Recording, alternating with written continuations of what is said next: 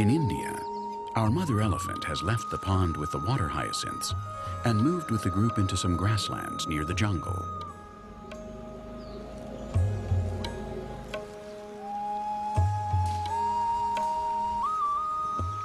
Adult elephants have no natural predators and only fear man and his weapons.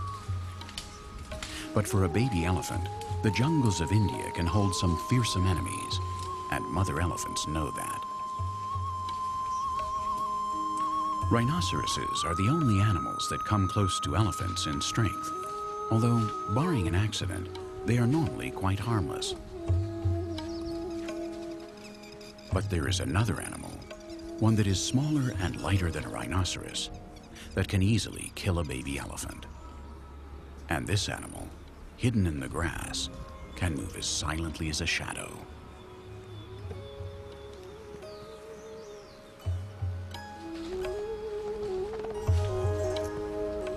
The chitals grazing near the elephant family are much easier prey than baby pachyderms, so the mother elephants feel good having them around.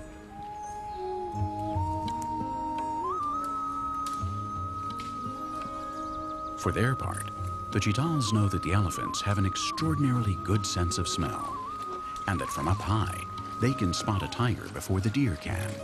So they also seek out the company of the herd.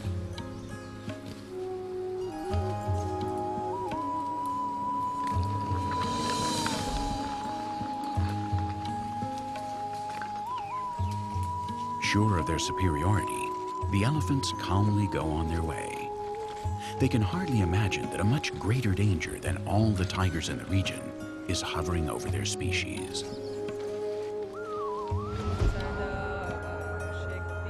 India has a population of more than 1 billion people, and most of them live below the poverty line.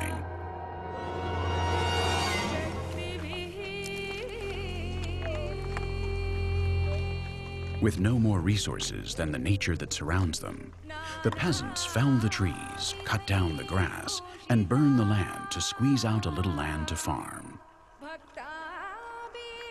Most of these croplands are rudimentary and unsustainable.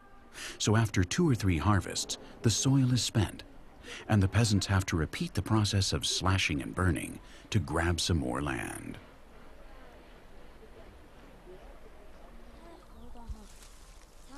The populations that surround the last remaining wildlife refuges rely on nature for their daily subsistence.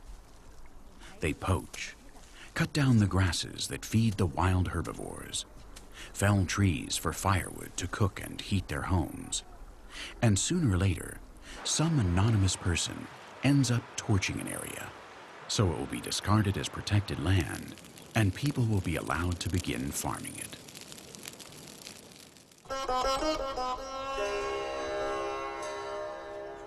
As a consequence, India's last remaining jungles are disappearing.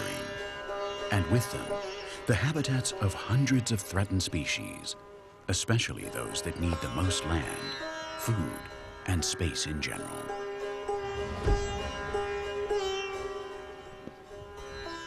In the family of our mother and calf, they all fear men. Every time they leave the park and wander into the croplands, the men chase them and try to kill them. Their old migration routes have been cut. The park has become a green island surrounded by human settlements.